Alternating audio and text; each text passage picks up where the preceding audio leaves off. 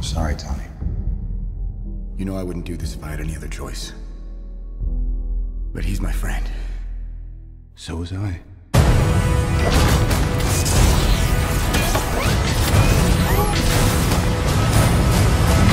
Engage all defenses.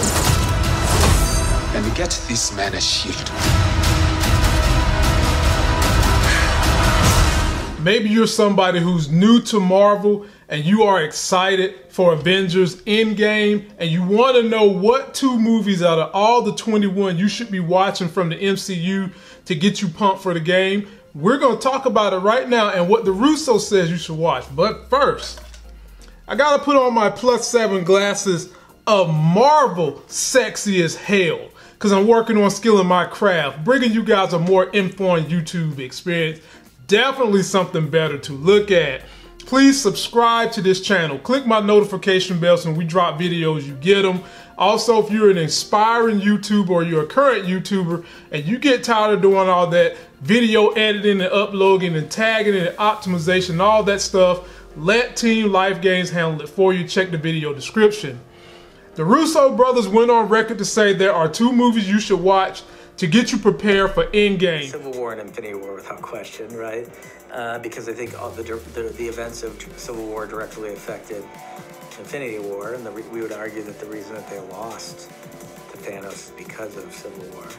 Uh, and then clearly that carries over to um, uh, uh Endgame. If you're going to add one more in there, I'd probably say Winter Soldier. The movie event of a lifetime. Yes, I said it. Damn it. This is going to be the movie event of a lifetime.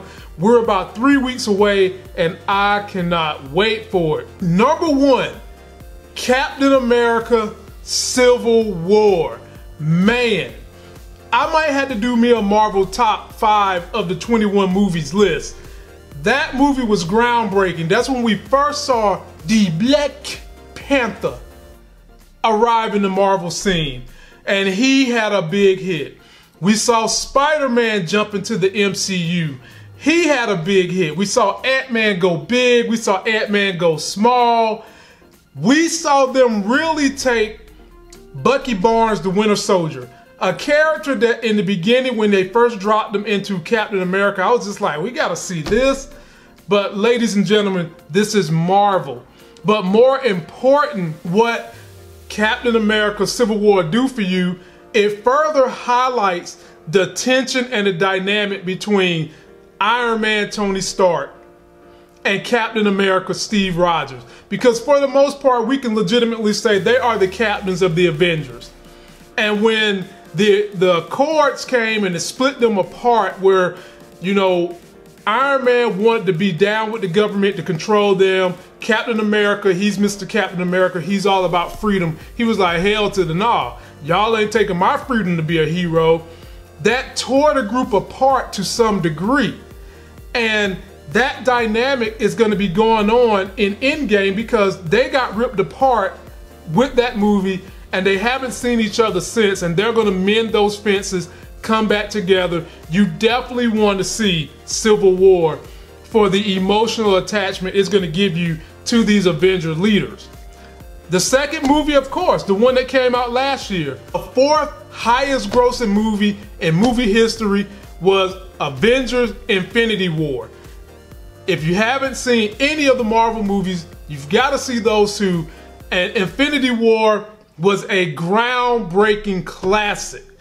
I predicted that that movie would make $2 billion. I also predicted it would crack the top five most lucrative movies to ever do it.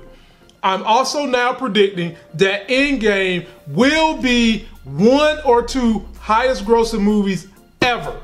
I'm predicting in the first weekend that Avengers Endgame will make $290 million. Why should you see Avengers Infinity War? It sets the narrative for everything that is about to happen. One of the first movies where you actually see the villain win to end the movie is Avengers Infinity War. You get to see Thanos. You get to see his Black Order. And his Black Order, they was bad as hell. Now, I mean, they had some great people in that Black Order. You get to see all that in a movie that's going to leave you feeling fulfilled at the end, but it's going to also leave you with a lot of questions because you just want to know Thanos has the gauntlet, he snapped his finger, half of the population is going, what the hell can the rest of the Avengers do to fix this, to remedy this, remedy this issue?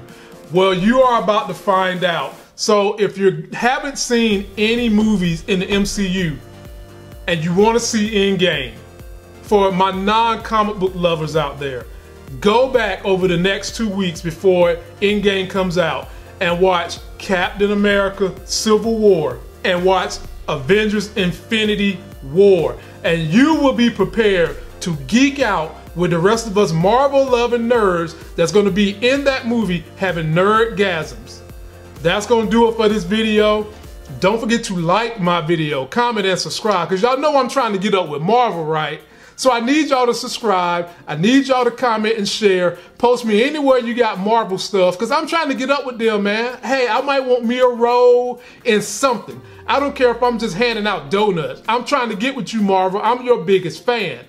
And until that next Sex is Hell video, I'll see you